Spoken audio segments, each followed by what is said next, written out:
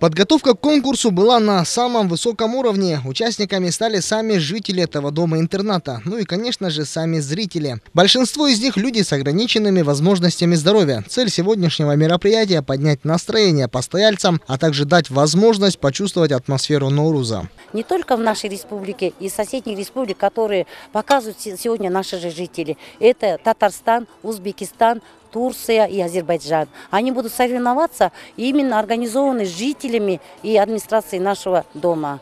Они э, состоят из 30 человек, каждая команда по 6 человек приготовили национальные блюда, национальные костюмы и орнаменты. Защита будет именно костюма и своих же республик, которые они будут здесь нам показывать сегодня. Ну и, конечно, на сегодняшнее мероприятие были приглашены и гости. Это представители погранслужбы, медицинской академии и многие инвесторы. К слову, некоторые из них были в составе жюри. Самое главное не победа, а участие, ведь организаторы пообещали поднять настроение абсолютно всем.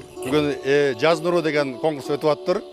Сегодня проходит конкурс под названием «Луч весны», в который нас пригласили в качестве жюри. Я думаю, сегодня для кыргызского народа самый важный день для жителей этого дома. Этот праздник не меньше. Это для нас Новый год. Сегодня день с ночью сравнялись. Сегодня здесь участвуют пять команд по шесть человек. Я думаю, мероприятие пройдет на самом высоком уровне.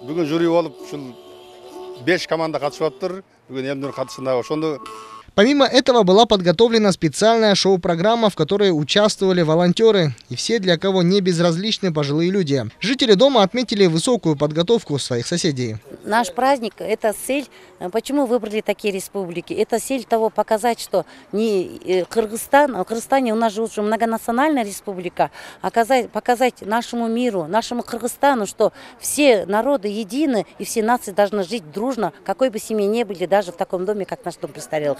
Стоит отметить, подобное мероприятие проводится ежегодно. Помимо Науруза, руководство Дома престарелых старается проводить мероприятия и в другие праздники. Самое главное, чтобы жителям было хорошо, ведь некоторые из них переживают вторую молодость, несмотря на свою зрелость. Дастан Гасканов, Нью ТВ.